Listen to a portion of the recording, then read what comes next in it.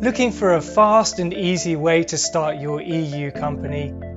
Just go to oneoffice.co. Click on Company Formation Portal from the main menu and choose your desired country. Find the available company names fast thanks to the direct connection with the business registry.